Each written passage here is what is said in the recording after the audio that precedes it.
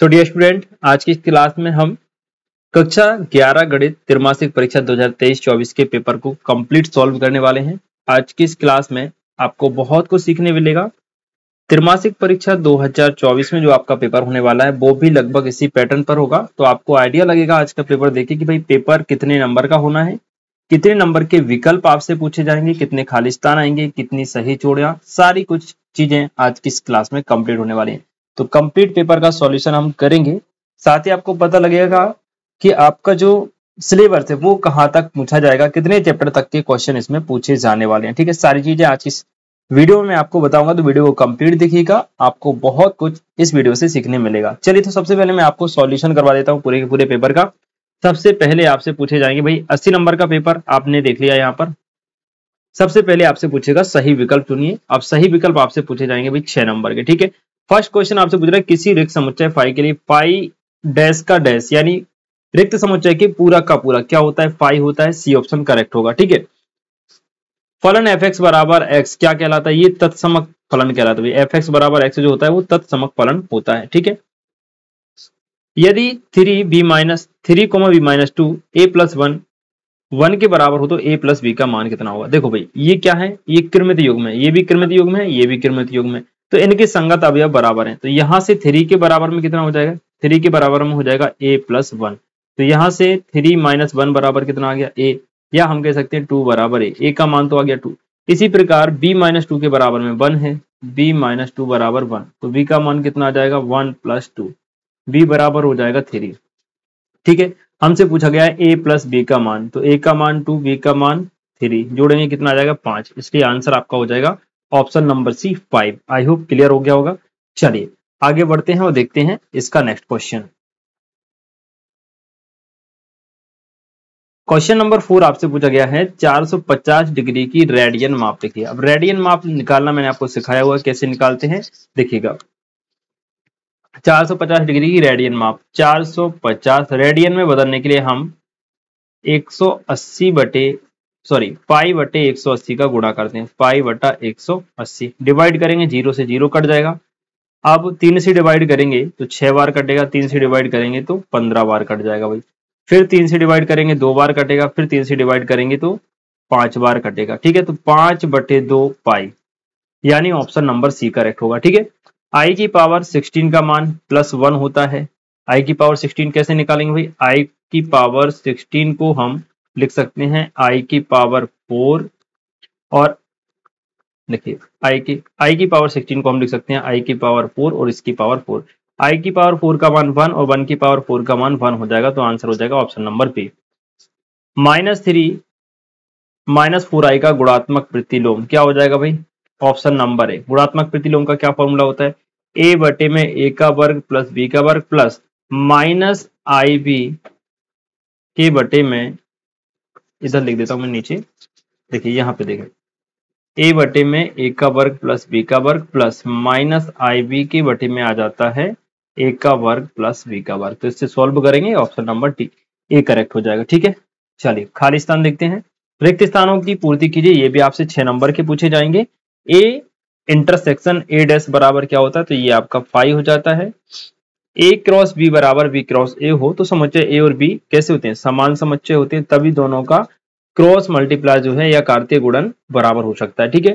Cos alpha का मान एक बटे दो है तो साइन टू अल्फ़ा का मान कितना होगा? देखिए कॉस अल्फ़ा कॉस अल्फ़ा का मान आपको दिया गया है एक बटे दो। तो यहाँ से अल्फ़ा का मान कितना हो जाएगा देखना कॉस अल्फ़ा बराबर एक बटे दो को हम लिख सकते हैं कॉस साठ डिग्री। तो यहाँ से कॉस से कॉस कट के अल्फ़ा का मान कितना आ गया साठ, यानी अल्फ़ा साठ आ गया।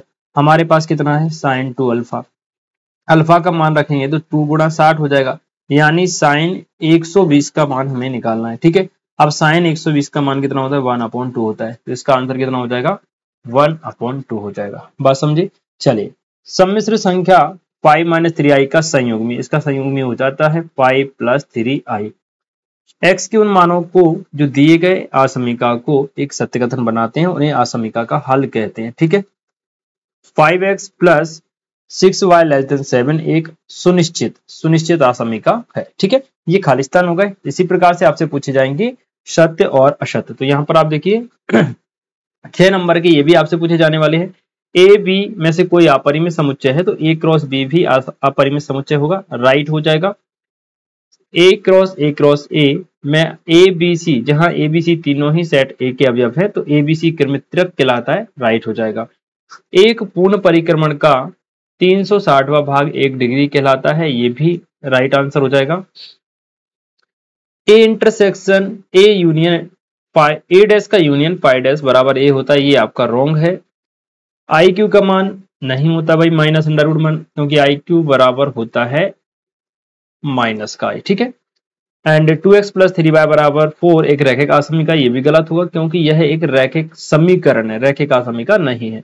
ये आपके खाली स्थान हो गए। अगला क्वेश्चन आपसे पूछ रहा है, सही जोड़ियाँ मिलाइए। स्तंभ एक ही जोड़ी, स्तंभ बी से मिलानी है। तो टेन माइनस थीटा मान टेन माइनस थीटा का मान होता है माइनस टेन थीटा तो फ़र्स्ट नंबर की जोड़ी हो जाएगी। ठीक है? ए यूनियन वी इंटरसेक्शन इसका मतलब होता है A intersection A intersection V intersection sine 90 minus theta होता है कॉस थीटा तो ये जोड़ी हो जाएगी आपकी सबसे लास्ट में।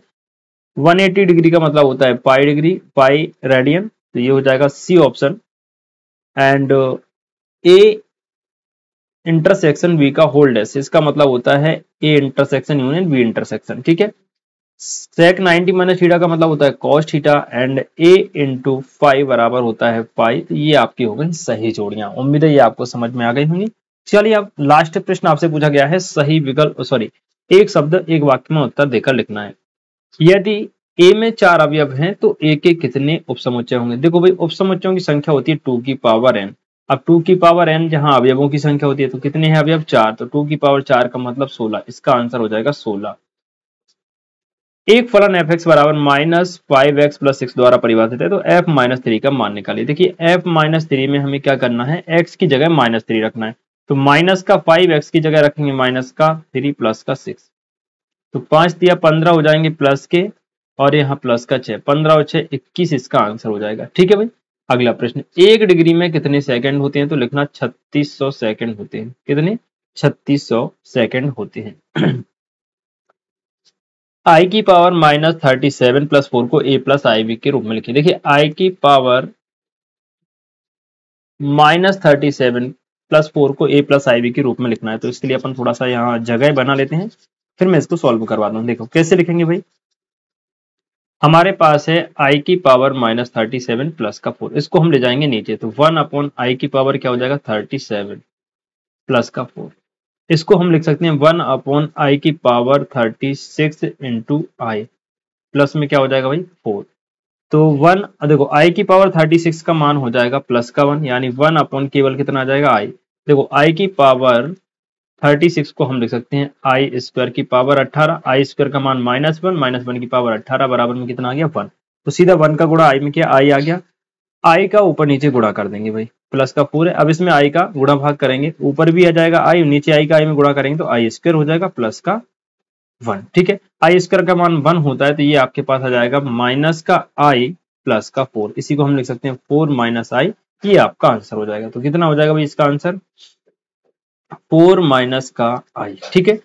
समित संख्या माइनस थ्री प्लस वन का आप मापांक लिखिए तो इसका मापांक हो जाएगा अंडर रूट ए स्क्वायर, यानी माइनस थ्री का स्क्वायर प्लस वन का स्क्वायर। कितना हो जाएगा? थ्री का स्क्वायर नौ प्लस एक। अंडर रूट दस इसका आंसर हो जाएगा, ठीक है? फलन वाई बराबर कोसेक्स का परिसर होता है भाई माइनस वन से प्लस वन, ठीक है? ये इसका परिसर होता है। X is that X belong to R minus four X less than equal six को अंतराल के रूप में। देखो यहाँ पर x जो है वो चार से बड़ा है, माइनस फोर से बड़ा है, यानी कि माइनस फोर के सामने आएगा ओपन इंटरवल।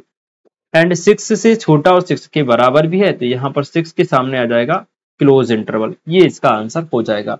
उम्मीद है बच्चों, आपको ये पेपर अच्छे तरीके से समझ में आ गया होगा। इसी तरीके से आपको सारे ऑब्जेक्टिव करने हैं। इस पेपर से आने वाले पेपर में आपको काफ़ी ज़्यादा हेल्प मिलेगी। बाकी ये क्वेश्चन आप लोग देखिए।